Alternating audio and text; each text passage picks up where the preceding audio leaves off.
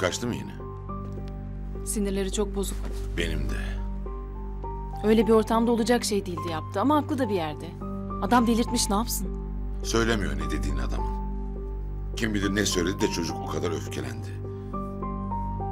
Şununla yalnız konuşayım bakalım. Nihal'in yanında konuşamıyor. Bırak sen de üstüne gitme. Yalnız kalsın biraz. Yazık ona da en mutlu gecesi mahvoldu.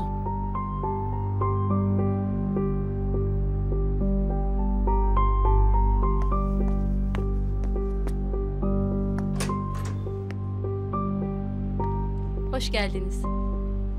Ne oldu Nihat? Bırak anne ya bu adam delirmiş artık. Ne diyor? Ya konuşulacak şey değil Peyker. Söyle de bilelim oğlum. Ona göre tedbirimizi alalım. Biz böyle sessiz kaldıkça tepemize çıkıyor. Seninle bir ilgisi yok anne boş ver. Benimle mi ilgili? Annem hakkında konuşuyor hala değil mi? Ya Bihter'le Behlül'e takmış şimdi de. Nasıl yani? Yani aralarında bir şey var diyor.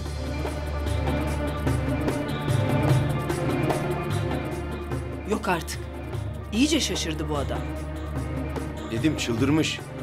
Ya düşün artık buralara kadar geldi bu adam. Ya bu kadar alçaldı. Kendini de rezil etti insanların önünde bizi de. Benim kabahatim. Ben götürdüm sizi oraya. Kendinizi suçlamayın. Madem bu kadar küçüldü nerede olsa yapacaktı bunu. Çok fazla ileri gitmiş ama bu sefer. O yumruğu hak etmiş kesinlikle.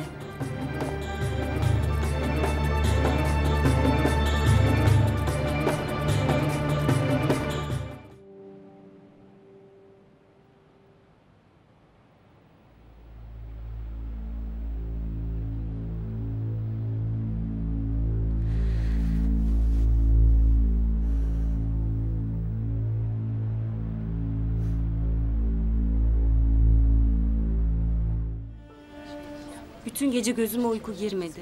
Hilmi Bey'in lafları kafamda döndü durdu. Sen bu lafları ciddiye aldın öyle mi? İnanmıyorum sana.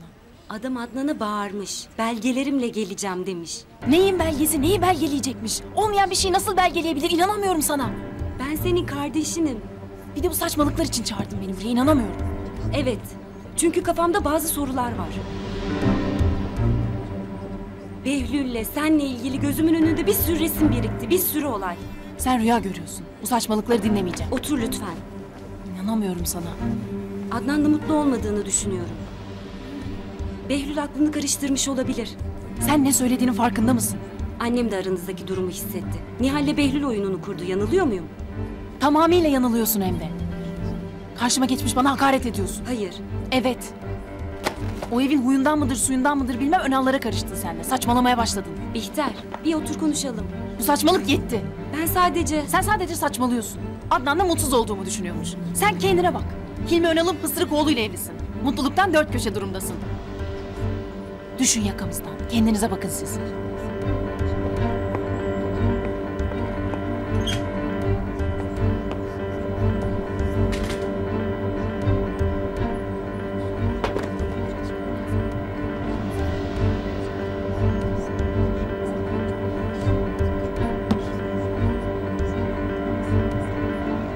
Kanalımıza abone olarak tüm videolardan anında haberdar olabilirsiniz.